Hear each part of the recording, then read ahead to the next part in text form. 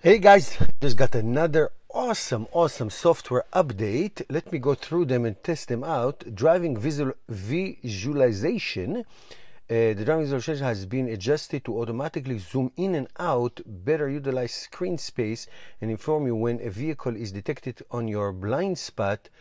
That's great. The visualizations remain remains zoomed out when when driving on the highway. Okay, we'll test it out. Sentry mode improvement.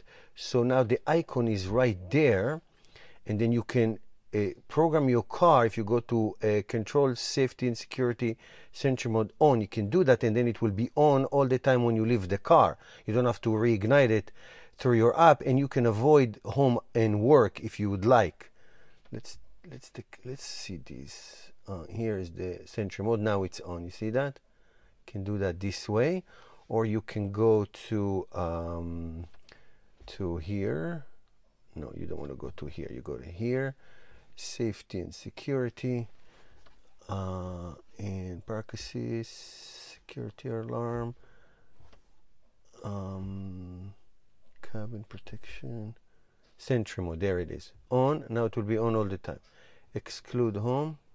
Exclude work and I can exclude other things. I'm going to leave it. See, it's right there.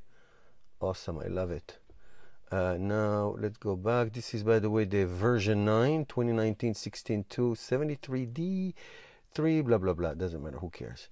Uh, lane departure. So, lane departure avoidance, uh, you can actually program it by going to uh, autopilot lane departure avoidance, and then it will steer you back with a nudge. It will steer you back with a nudge if you drift uh, between 25 and 90 miles per hour, 40 to 145 kilometers per hour. If you go off the road a little bit, it will gently steer you back into the road if you not if you don't have your uh, indicator. And there's also an emergency one.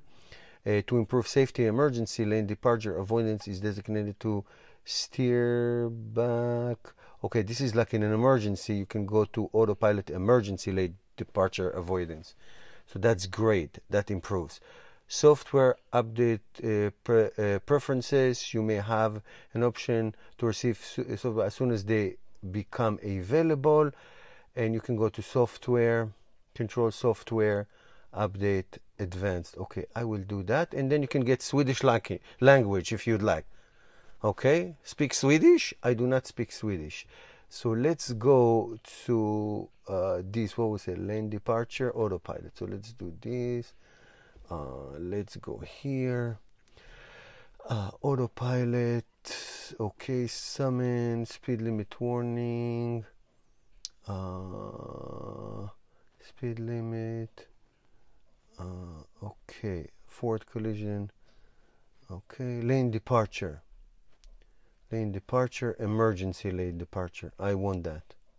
Yes, I want that. This is great. This is awesome. Look at this. This is really awesome. Now it's going to be on without me asking it to be on because I programmed this way and except for home and work where we it's fine. The, we don't need that.